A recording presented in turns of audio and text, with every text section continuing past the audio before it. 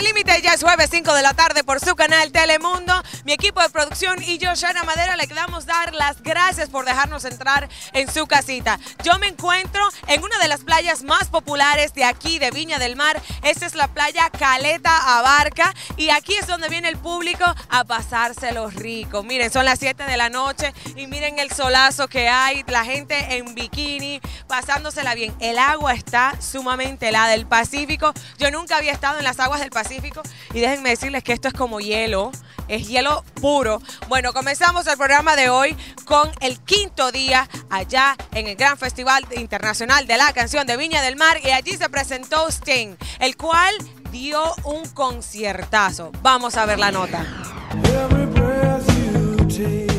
El quinto día fue el más esperado de Viña del Mar 2011. En este se presentó Sting, el cantante inglés conocido por su trayectoria en los 80s con el grupo The Police. Acompañado de una orquesta sinfónica con más de 16 músicos, Sting cantó canciones como Fields of Gold, Roxanne y la más conocida de todas, Every Step You Take.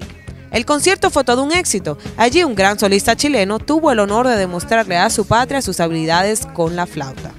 Sus canciones llevaron a muchos a recordar viejos tiempos, y entre canciones del pasado y el presente, Sting también fue otro en llevarse el máximo galardón, la gaviota de oro.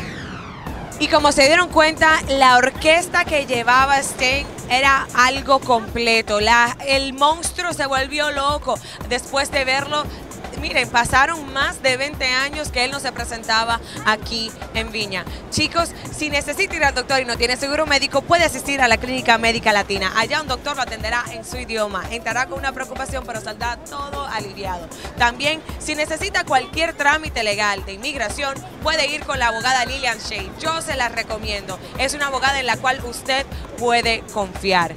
Les recuerdo que si quiere ir a comer comida rica, comida peruana, váyase al Pisco Sour. Es un lugar en el que usted puede tener un ambiente familiar, puede bailar y puede disfrutar de esta rica comida, el Pisco Sour. También, si está buscando algún abogado, pues algún carpintero, plomero, puede encontrar toda esta información en el directorio de Denver, la información que usted necesita. Ahora vámonos con uno de los doctores de la Clínica Médica Latina para los tips de una buena salud.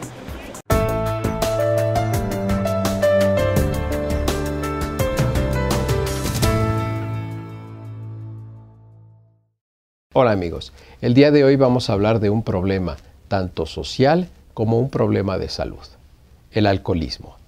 El consumo de alcohol habitualmente está relacionado con festividades, con eventos especiales, con días especiales o con fechas especiales. Esto no significa un problema si lo hacemos con moderación. El tomar una o dos copas no significa ningún problema. Sin embargo, cuando nuestro consumo de alcohol modifica nuestra actitud.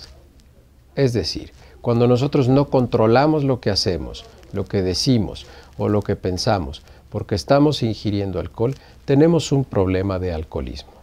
El alcoholismo no significa una cantidad determinada de alcohol o una frecuencia determinada de alcohol. Significa que nosotros ya no estamos controlando lo que pensamos, decimos o hacemos. En ese, en ese momento es un problema serio de salud. No tiene relación tampoco con el tipo de bebidas que tomamos. Es frecuente que aquí en la oficina los pacientes me digan que no toman alcohol, que solo toman cerveza. La cerveza es una bebida alcohólica, es una bebida alcohólica de moderación, es decir, contiene menos del 6% de alcohol. Sin embargo, es una bebida alcohólica que puede modificar su manera de pensar, su manera de sentir, su manera de actuar. Y eso significa que puede estar involucrado en alcoholismo.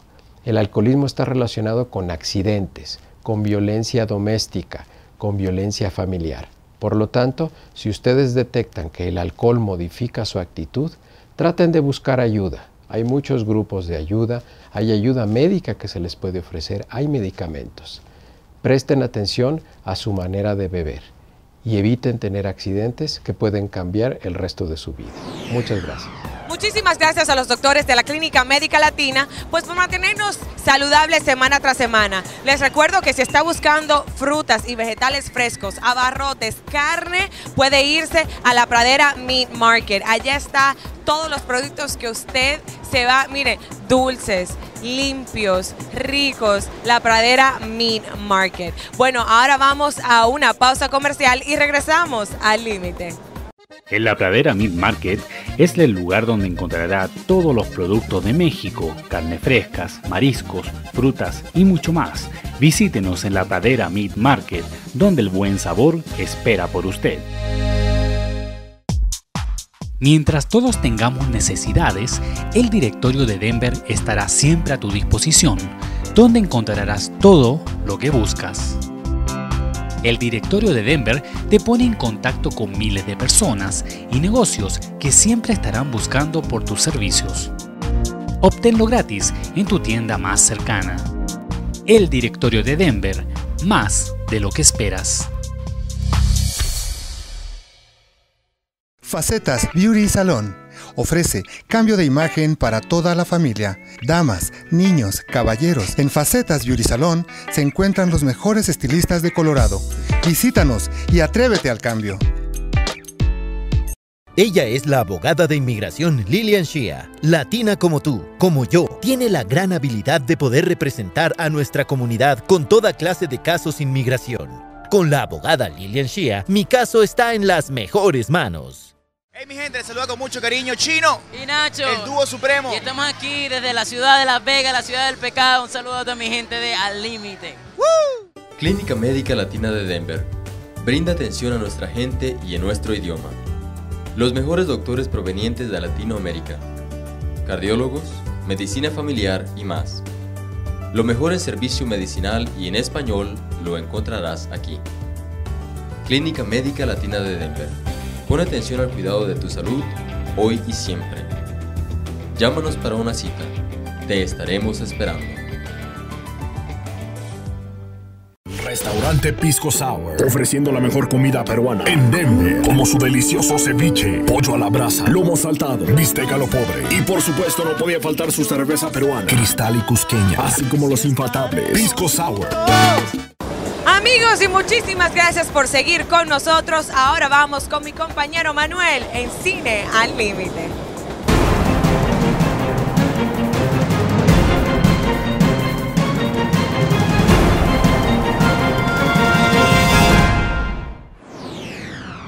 ¿Qué tal amigos de Al Límite? Hoy como cada jueves es hora de ver lo que la pantalla grande trae para nosotros este fin de semana. Estos son los estrenos. The Lincoln Lawyer, basada en la novela más vendida de Michael Kennelly. Mr. Holler, un abogado no muy exitoso de Los Ángeles operando a bordo de un Lincoln, de pronto se topará con un caso bastante inusual. Louis, un vendedor de propiedades acusado de asalto e intento de asesinato, deberá probar su inocencia con la ayuda de este abogado, quien no encuentra las razones que llevaron a su cliente a la escena del crimen. Lo que parecía ser una trampa ahora es una evidencia sospechosa alrededor de la muerte de una joven un multipremiado elenco que lo mantendrá pegado a la pantalla, The Lincoln Lawyer.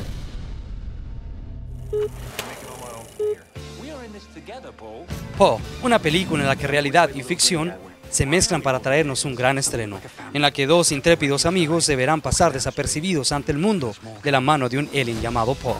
Con agentes encubiertos tras ellos, llevarán a su nuevo amigo a vivir emocionantes aventuras con las que este pequeño alienígena no deseará regresar a casa. Con una excelente producción, Paul será más de lo que esperabas ver. Do you think he'll be okay? Yeah, he'll be fine.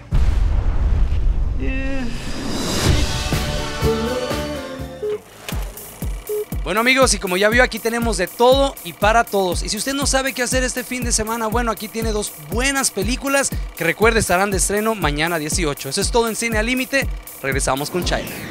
Muchísimas gracias, Manuel. Les recuerdo que si se conecta con nosotros a www.allimite.tv va a poder ver todo lo que está pasando en nuestra ciudad en cuanto a conciertos y eventos se refiere, como el de cafeína que viene y nosotros vamos a estar regalando 10 tickets para que usted nos acompañe y disfrute con nosotros. Ahora, cambiando un poquito de tema, vamos a ver esta nota que les preparamos de uno de los escritores más populares en el mundo entero. Él es chileno, Pablo Neruda. Vamos a verlo. Ricardo Eliezer Neftali Reyes Basualto, conocido por el seudónimo y posteriormente su nombre legal de Pablo Neruda, fue un poeta y militante comunista chileno considerado entre los mejores y más influyentes de su siglo, siendo llamado por el novelista Gabriel García Márquez el más grande poeta del siglo XX en cualquier idioma. Una es el amor. También fue un destacado activista político, siendo senador de la República, integrante del Comité Central del Partido Comunista y precandidato a la presidencia de Chile. A la. Entre sus múltiples reconocimientos destacan el Premio Nobel de Literatura en 1971 y un doctorado honoris causa por la Universidad de Oxford. En palabras del crítico Harold Bloom, ningún poeta del hemisferio occidental de nuestro siglo admite comparación con él. Sandía. La quinta cosa son tus ojos.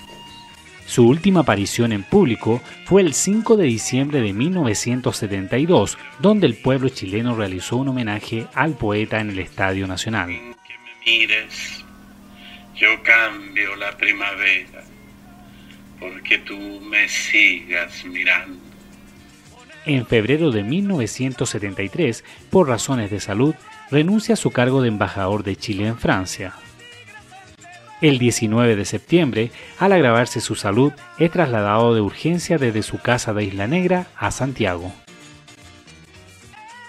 Finalmente, el 23 de septiembre, Pablo Neruda muere a las 22 y 30 de la noche en la clínica Santa María de Santiago, debido a un cáncer de próstata.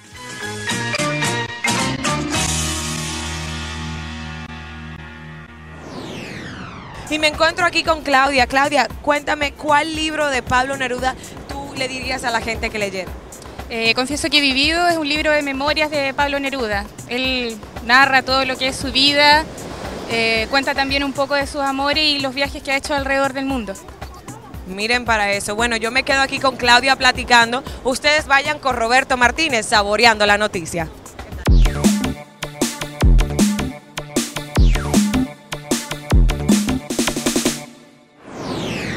Hubo un momento en el que me sentí obligado a escribir esta semana sobre Japón, pero después de ver tal devastación, honestamente me he quedado sin palabras.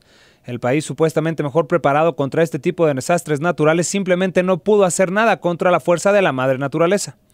Las imágenes y sonidos que hemos presenciado por televisión e internet lo dicen todo.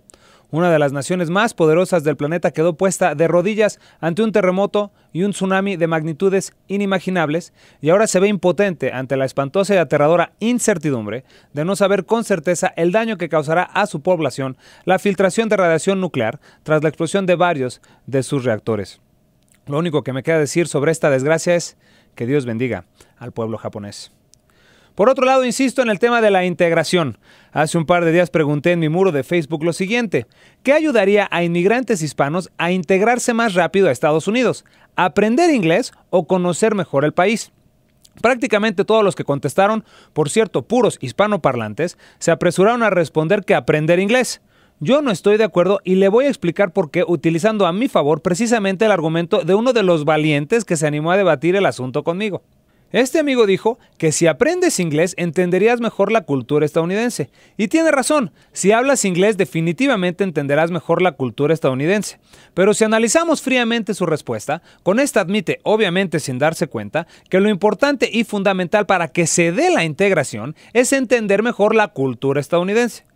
Mi pregunta fue muy clara, ¿qué ayudaría a integrarse más rápido? Pero bueno, Pensándola bien, una mejor pregunta quizá pudo haber sido ¿quién está mejor integrado? Alguien que sin saber inglés sabe, por ejemplo, que en Wisconsin continúa la pugna entre sindicatos públicos y el gobernador Scott Walker, que Barack Obama quiere un mejor control de armas, que Nueva Jersey está inundado y que la ciudad de Aurora podría darle de nuevo la bienvenida a los Pitbull, o alguien que a todo esto diría, sorry dude, but I have no idea what you're talking about. A todos los que dicen aprendiendo inglés se daría más rápida la integración, les pregunto, ¿Are you sure about this?